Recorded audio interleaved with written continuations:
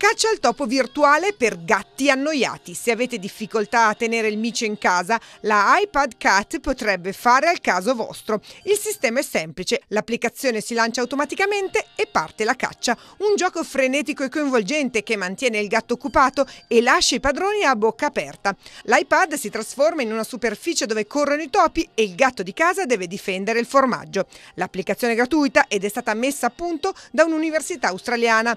Per non rovinare lo schermo è però meglio applicare una bella pellicola antigraffio prima che il temibile felino, preso dalla foga della caccia, non segni irrimediabilmente il tablet.